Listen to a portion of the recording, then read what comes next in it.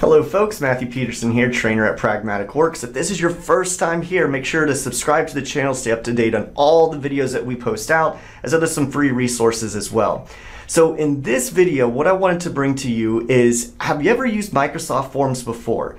One of the things I did not know until recently is when you make a Microsoft form, whenever you want to see those responses, you open up the form and then you download that Excel sheet. But did you know you can embed the form answers and results right into an Excel online workbook? This is awesome to keep track of all the changes and quickly see all of your form results. So without any further ado, let's see how easy this is to get done.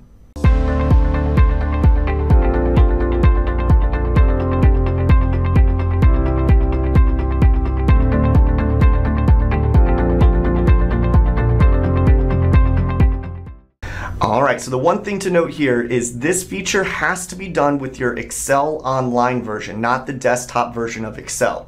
So I've opened up Excel Online, and right up here at the top in the insert ribbon, you can see that there is a forms dropdown here. Uh, and this is one of the reasons why I didn't know about this because I typically use the desktop version, not the online version. But watch what we can do.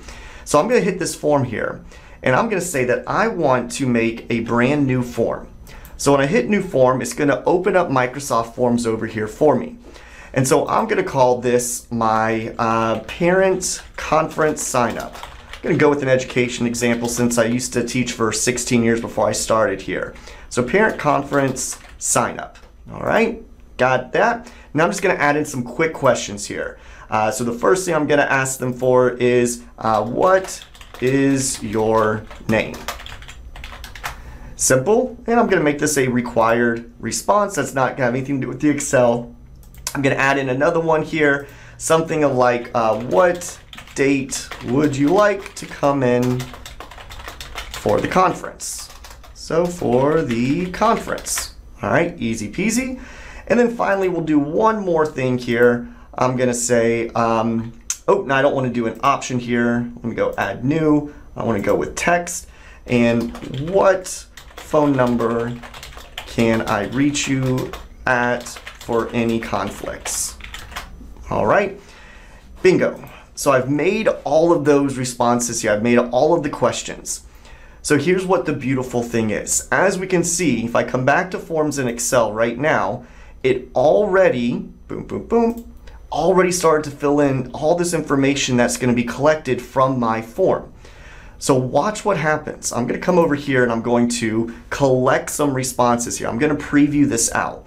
So I'm going to hit preview here. So what is your name? My name is Matt Peterson.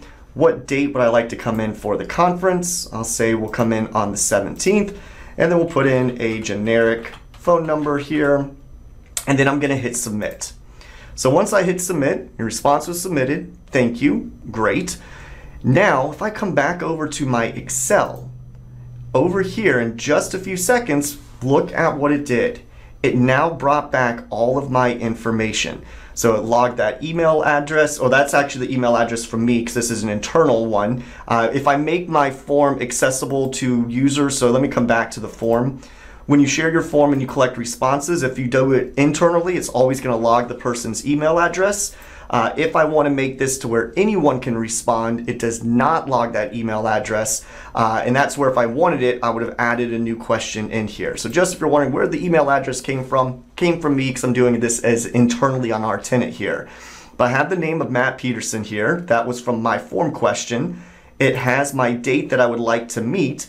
And then over here, what phone number can I reach you at? It's now brought this into place as well. And this all came from this form right here. And you're like, you might be saying, Matt, there's a problem. Well, why is it bringing back this question field here? Well, the reason it brought this back is as I was making that form, if you remember, I added in a question. I was like, oop, that's actually the wrong one, and I deleted it there. So as you're making changes on the forms, it's going to change your Excel version as well. So technically, I don't need that column there anymore, so I can just delete that column. And so here's what that beautiful thing is. As I send this form out and I use it year in, year out, over and over and over again, I no longer have to go to the form, go to the responses, and click that I want to open this in Excel or I want to view the results or download them. All I simply have to do is go to one location, I find my Forms Excel workbook, open it up in Excel Online, and I now have all the responses saved for me here. And then I can go in and modify, get rid of old records if I ever wanted to. So this was a feature that I just didn't know about when I was using regular Excel and regular forms. It was when I opened up Excel Online, I saw that Forms little icon. I was like, this is a time saver. So I wanted to make sure that I showed that to you. So hopefully you enjoyed. Hopefully this can help you out somewhere within your organization. Again, if you liked the video, hit that like button. Um, if you didn't like the video, I apologize for that, but definitely subscribe because we post tons of videos throughout the week. If there's anything we can do in terms of training, please feel free to contact us. We would love to help out. So again, thanks so much and I'll see you in the next one.